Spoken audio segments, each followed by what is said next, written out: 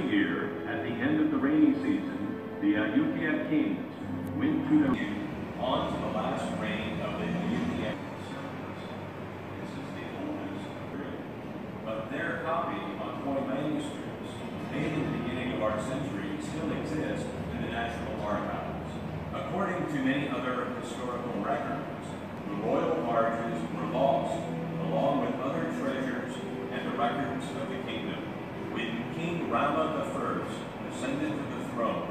1782.